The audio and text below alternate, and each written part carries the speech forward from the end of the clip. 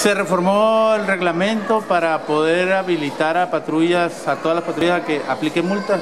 Sí, las patrullas de tránsito y a los agentes eh, policíacos de tránsito para que puedan eh, ellos este, pues, ser supervisores del- en la ciudad so- y que puedan ir sobre los cochinos pues que nos, que nos dan ¿Y, hasta ciudad. cuánto es la multa? ¿También se Eh, modificó eso? Sí, eh, estamos buscando que sea de 20, perdón, de 40 a 200 sumas, que son hasta los 15 mil y fracción de pesos. Y te comento también que la- lo, lo primero va a ser eh, trabajo comunitario antes de la, de la multa, ¿no? Que, pueda- que puedan resarcir pues, el daño y regresarle pues, con trabajo comunitario pues, a la ciudad.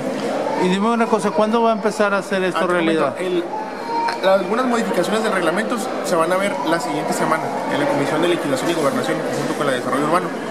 este, eh, sobre el tema de, las, de, las, de los montos de las sanciones se va a autorizar la siguiente semana. Ahorita nada más se autorizó el tema de, la, de que puedan estar habilitados, tanto jurídica como técnicamente, la- las policías de tránsito para conocer de esos temas y que puedan sancionar de esos temas. Va a haber dos meses para capacitación, ¿sí? máximo, y que se, y que se pueda implementar pues ya ¿A partir de abril? normatividad. Así es, exactamente. Y te comento que por qué el exhorto se aprobó y por qué la reforma este, de, los, de la sanción la siguiente semana. Porque lo que presentamos en, en el Valle de Mexicali y los algodones en la sesión, pues fue el exhorto. Se amplió y como se amplió ya no podías meterse en la misma propuesta que era un exhorto. Entonces